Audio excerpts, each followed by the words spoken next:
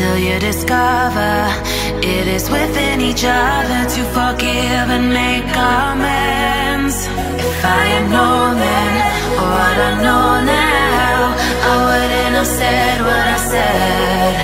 I took the long road, thought I'd be better on my own. Sometimes what's right is wrong instead. Cause I was too young, and I didn't understand